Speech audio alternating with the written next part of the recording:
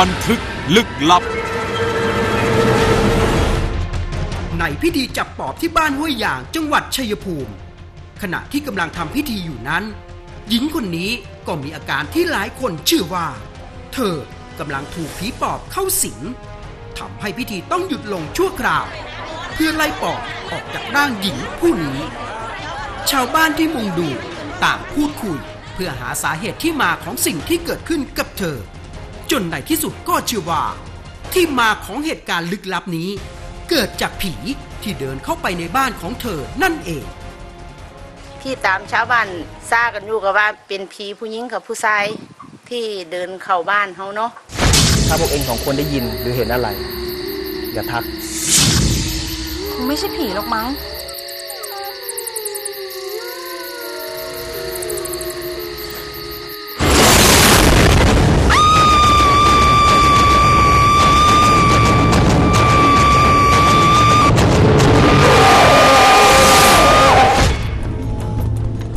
ว่า ทันทีที่เธอเดินทางมาอยู่ในเขตพิธีจับปอบผีในร่างได้ถูกบังคับให้แสดงตัวตนออกมาอย่างที่เห็น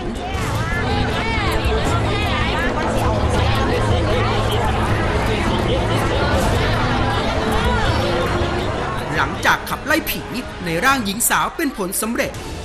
การไล่จับปอบในหมู่บ้านก็เริ่มขึ้นอีกครั้ง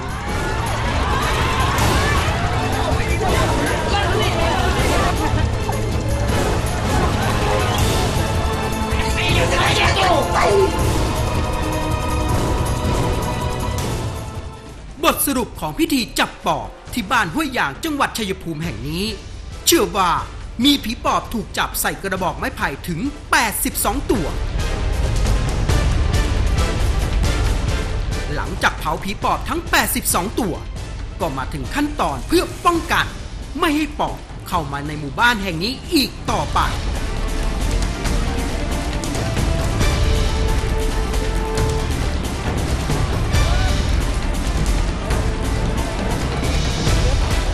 กาให้ชาวบ้านเนี่ยเอาฝ่ายครับฝ่ายคือฝ่ายสายสินครับได้สายสินหลังมาล้อมรอบหมู่บ้านไว้ตามเคหสถานบ้านเรือนต่างๆ แล้วก็มีประตูทางเข้าบ้านก็มีซุ้มหญ้าค้า แล้วก็มีหลักเมืองกับหลักสีเป็นเฮ็ดเป็นหาหลักนะครับเฮ็ดหลักไว้กลางบ้านหลักหนึ่งแล้วก็เอาหลักส่วนที่เหลือซี่หลักเนี่ยไปไว้ซี่ทิศนะครับ อันนี้เป็นการป้องกันโมให้ปอบเข้ามาในหมู่บ้านครับ หลังจากที่ทำพิธีมาแล้วก็บ่มีการมาเฮามาฮอนชาวบ้านก็บ่มีเหตุการณ์อหยังเกิดขึ้นค่ะอยู่เย็นเป็นสุข อันนี้บ่เป็นตาเสียก็คือต้องเสือค่ะ เพราะว่าไปใส่มาใส่ก็บ่เห็นอหยังมากับบ่เฮาคนก็อยู่เย็นเป็นสุข ไปทำมาหากินจังซี่กลับมาบ้านก็อยู่ปกติค่ะก็เลี้ยงนี่เสียไว้จังน้อยก็ดีบ่เสียก็ได้อยาลบหลู่ครับผมไม่ว่าผีปอบจะมีจริงหรือไม่ ไม่ว่าสิ่งที่ถูกเผาในกระบอกไม้ไผ่คือสิ่งใด สิ่งที่มีค่าทางจิตใจ นอกเหนือความเชื่อก็คือ ชีวิตของคนในหมู่บ้านห้วยยางจังหวัดชัยภูมิแห่งนี้ ได้กลับคืนสู่ภาวะปกติอีกครั้ง ไม่มีใครตายอย่างไม่น่าตาย ไม่มีเสียงเห่าหอนไปทั่วหมู่บ้าน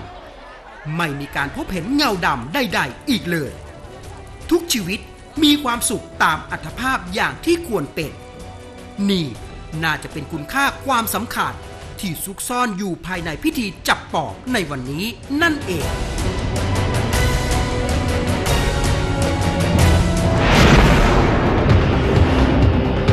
พบเห็นเรื่องราวเร้นลับ พิสดารและตำนานความเชื่อ